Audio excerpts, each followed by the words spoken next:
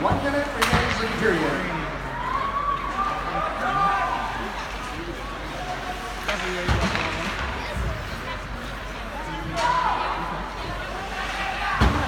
Still.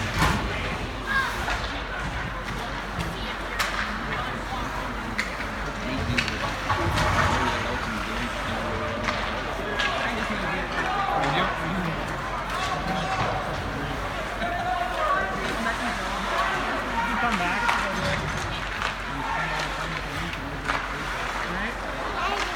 Hi, honey. You me again.